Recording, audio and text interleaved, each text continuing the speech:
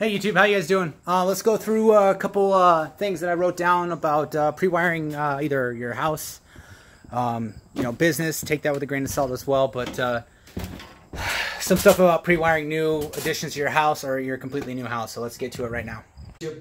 So, just a couple points. None of these are in specific order except uh, for the, the obvious here. Demarcation. Um, demarcation is where your utilities, say your your your cable or your satellite, your internet, all that good stuff comes to the outside of the house. Like this, the actual company brings that service to the outside of your house, um, and sometimes they'll bring it inside to a certain area.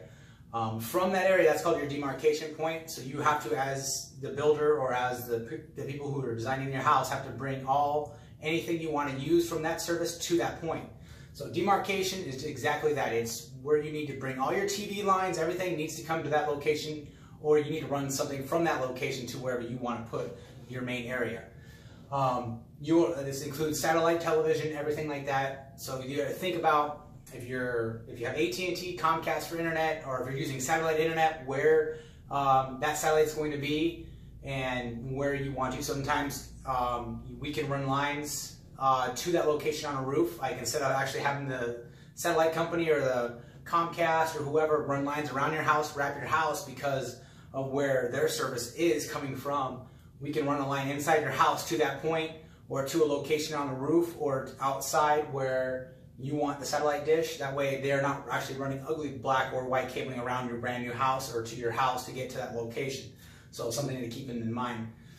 Um, you're gonna hear me say Cat 6 a lot. Category 6 cabling is kind of a wonder cable. They, we, not a cable, but I guess it's a wire, whatever you want to call it but uh, we can do many, many things with it. So you're going to want a lot of Cat 6 line or whoever you're employing to do is going to be using, supplying a lot of Cat 6 line. Um, so that's your demarcation. There's a lot more to going into it. You can ask your, whoever who's uh, responsible for low voltage, low voltage or your wiring, where you're going to put the, you know, your main area for your control center, whether it's like behind a theater, in a closet, basement. Um, would not recommend attic because of the heat or the cool of the cold. Um, network. Next would be your network. So are you going to, if you're looking into wireless networks, I'm just letting you know, you know, it's, it's convenient. Wireless is convenient, but wired is always preferred because it's going to be faster. As of right now, it's faster. Um, and you're going to either have wireless as far as your signal. So if your house is built out of concrete, you're going to want cell boosters inside for, you know, if you're, you're not getting good reception. And WAP, wireless access points. So you're, going to get a router from your either your cable provider, you can provide one yourself, and from there, if your house is large, that's not going to cover your entire house. So you're going to run Cat6 to certain locations for wireless access points that actually beam out wireless signal for your network. That way your entire house can be covered. So you want to, you know, you pinpoint spots, get with your person. They're to, depending on how your house is set up, um, that's going to basically cover up your entire house. That way you have no dead spots. You're not going to go to your basement and have, you know, one bar for your Wi-Fi signal or your upstairs or to a corner wing of your house. So everything can be covered via wireless access points. Video distribution. I'm going to say, I'm going to go over each, I'm going to be another video for each one of these to kind of go into depth. This is not in depth. This is just what you're looking at pre-wiring your house for or wiring your house for that's already existing. Video distribution, basically meaning how you want to watch your television, um, your TV, basically, um, anything like that. Theaters, obviously, you can see is the next one down. But um, as a rule of thumb, depending on what you're going to do, you run four Cat 6s and a coax to each location wherever you want to.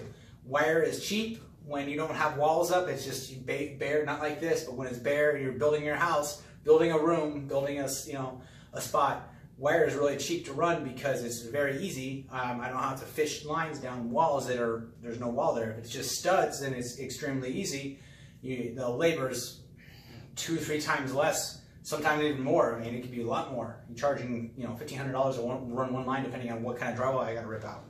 But it's very cheap to run wire uh, when there's no drywall, when it's unfinished, so just run it. Just run your lines. If you don't know you're going to need something, but you may, just run the line. It's there. If the hard work is done once it's drywalled up, you have to, you know, punch a hole, grab the wire, and then find it on the other end, tone it out, and you're good. So video distribution, Cat 6, 4 Cat 6, and one, you know, quad shield solid copper RG6 to that location. It's going to cover pretty much everything. Y4, Cat 6. Um, you want some sort of control for your TV, whether it's um, IP or IR control. So if you want to control it through a regular remote, um, your phone, uh, a universal remote, like a Control4 system, um, the Cat 6 is going to do that for you. And then you're going to have two Cat 6 for HDMI. Um, so you can get HDMI coax off the Cat 6. Like I said, Cat 6 is going to be what you're going to hear a lot in these video series.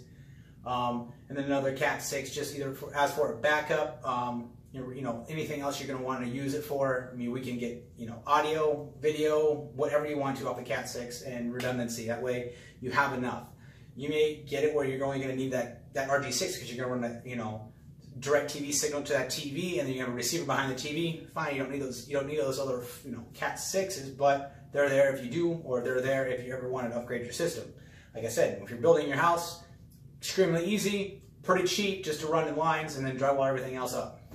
Theater surround sound for your house, that's going to be completely, a completely series as far as theaters. You guys can look up however you want to on theaters. Um, you know, you're going to need uh, 14.2, 14.4, 16.4, you know, your, your speakers, um, your wiring, um, subs, just you're going to have to plan it out and run, you know, obviously your theater. I will not recommend running conduit to every TV location in case you need to pull HDMI over long distances. You, you know, it's it's not, you, you can just pull a redundant HDMI to certain spots, but for like say a theater where um, you're, you're putting in fiber optics and um, uh, you know other things where you're not going to want to tear out anything out. You know, run a conduit to your uh, projector location that way because HDMI is either go bad or they upgrade You know, you, we had HDMI and now we have HDMI 2.0 or 1.2. You know, you can always upgrade those HDMI's, run conduits. That way you can pull another HDMI. Um, fiber, I know I didn't say fiber in video distribution, but if, you know, in my next house, we'll run fiber to locations because it's, you know, it's going to be the future as far as getting high speed anything. Um, we, in my area, you know, we don't have gigabit speed internet, so there's, you know, really no reason. But if you're pre-wiring for a business, anything like that, fiber is definitely an option. And same thing with your, your theater, running fiber to the projector, running fiber to other locations for anything is always, it's going to be expensive, but it's always something you there to think about if you're already building it. Um, you might as well put it in, really. Um, touchscreens, um, for your, I, you know, this goes into whatever you're going to use them for, video monitoring, you know, um, intercoms down here, but you know, intercom, whatever you need to, but touchscreens for whatever you're going to need, um, garages, etc., etc. Um, you're to want a Cat 6 for that location for any touchscreen you want upstairs. You know, probably um, you know one per level at least, and you can go from there. Um, again, Cat 6. Surveillance, security cameras. Um, it's always good to run if you're running. Most most people who get security cameras installed, you know, wish they would. They'll see the blind spots. Once you fire everything up, you're to see the blind spots, and you're like, oh, I should put another camera there, or you know, to cover another blind spot. So in a corner of a house, corner of a building, if we're you know if, if we're contracted to run you know one location, you know one camera, we usually pull two just because it's going to save us, it's going to save the customer. Um, we're saving ourselves from the work, and they're eventually going to say, okay, I want another camera there for a blind spot, etc., etc. But we always recommend it anyway. But if you're going to run for one camera, might as well run for two. Um, but the labor is already going to be paid for through uh, running that line itself. So, and then sensors. Uh, most, you know, Windows sensors, you know, sensors are going to be wireless nowadays, but um, if you prefer wired, then you wire for um, your your sensors as well. Plus, plus, you know, large windows, stuff like that. Um, you know, window shades. In the same time you do the window shade wiring, you do the uh, window sensor as well.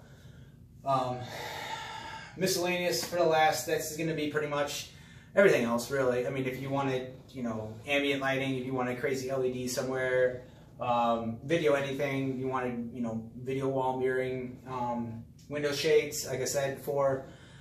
Um, most window shades are going to be wireless as well. They got batteries that last a very long time, but say if there's like a, a window that's really high up, you don't want to get a big ladder out or contract somebody to bring a ladder or a small lift, depending on how big your house is, to get to that window shade. Just wire it up, and you never have to worry about it really.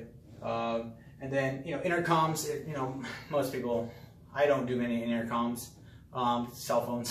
so, uh, but intercoms as well. You know, just put the wire in. You know, speakers, put the wire in. Um, just you know, it's gonna be there for you, um, and you're it's it's gonna if you don't ever use it, great. But if you do, then it's gonna save you lots and lots of time, headache, and drywall and money already having the line there. Period. So, and I will go back. I think I skipped surround sound um, speakers in your entire house. Obviously, um, your theater is going to have a surround sound. Um, you know, you have multiple rooms if you want to. You can wire up as many as you want to. Um, but speakers in a house, you know, two speakers, one speaker. Run your speaker cable straight. We'll get into that later. What kind of speaker cable you should run, resistance, and all that kind of stuff. Just run your speaker cable. Um, if you think you're going to need a uh, a speaker in this room, just you know, run it. You know, just zigzag just so we can get to it and then they'll drywall it up. We know it's there. Doesn't matter. We'll cut our little hole for our speaker. You know, you know, search around, grab it, yank it. We're, we're good. So um, that way, you may not think, oh, I don't need speaker. You know, if I'm not ever going to put a speaker in here, just run. It's so cheap. It really is so cheap. Just run it anyway, and then if you, you know, if the wife down the road is like, oh, I want to be able to listen to something, you know, once, you know, then you have it. You saved yourself. Could be thousands of dollars, really. So all right, guys, that's it for this. This is this is kind of an overview of what we're going to be talking about, but a quick quick rundown of what you to look at if you're building a brand new house and you're thinking about low voltage wiring. Um, again, as far as budget wise, um, you know, people say between one and five percent of your house budget for your low voltage. It can go lower or it can go higher depending. Again, theaters can be crazy expensive. Um, you can get crazy, you know, big TVs. All like, you know, it just depends on what you want as far as budget, but make sure you you know you tackle with your AV guy all this was included. If you're you may not even want security cameras, you may not you know you don't care about um, you know pads or anything as far as uh, touchscreens. Uh, this it's it, everything here. You can never you may never even want in theater. so just take it for a grain of salt. But this is what to look for, guys. Like and subscribe. Thank you.